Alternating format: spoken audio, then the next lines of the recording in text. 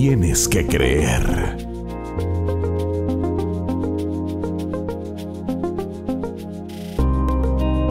Por años has creído que existe una religión y una conexión con algo divino.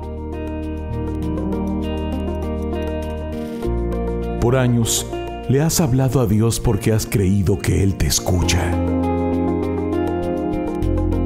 Por años has creído en tu religión, esa que tus padres te inculcaron con amor, esa que un líder espiritual te mostró y has creído en el Todopoderoso. Y todo, todo gracias al poder de las palabras. Por años has creído en la persona que te enamoró con sus encantos y con su voz. Y por mucho tiempo también les has dicho te amo a los que te rodean y ellos te creen. Y todo gracias al poder de tus palabras.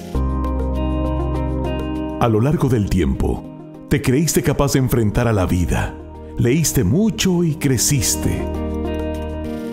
Y un día creíste que podrías graduarte, alcanzar tus sueños y propósitos y convertirte en la persona que eres hoy. Y todo gracias al poder de tus palabras. Te has creído cada piropo, cada comentario positivo y lo has empleado para mejorar tu autoestima. Sí, todo el tiempo te has creído todo. Está bien, porque sabes, si crees, es porque somos muy buenos para creer. Así somos los seres humanos. Lo único malo es que también puedes creer que todo está mal, que todo lo malo es una tragedia, que no saldrás adelante, que tienes que crear pánico o ser parte de él. Has creído en el miedo.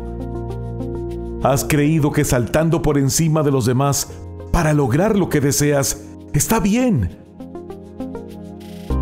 Sin importar el juicio de tus hijos, de tu familia y lo más importante, el juicio de Dios. Pero sabes, al final Dios, Dios nos ha dado la oportunidad de libre albedrío. Y tú tienes la decisión en tus manos. Así que, ¿por qué no crees que todo lo que te pasa es una lección divina? ¿Por qué no crees que esta es una oportunidad para ser mejores? Cree todo lo bueno que tienen los momentos de adversidad. Cree que de los infortunios aprenderás la mejor lección de tu vida. Disfruta de la lluvia aunque se escuchen los relámpagos de la tormenta. Sé paciente. Perdona. Ponte a orar. Y sé testigo del poder de la oración. No te arrepentirás. Vive hoy como estés, con lo que tengas, y no te despegues de Dios. Comparte tus sueños con quienes quieran pensar en grande como tú. Sé motivo de inspiración y de confianza.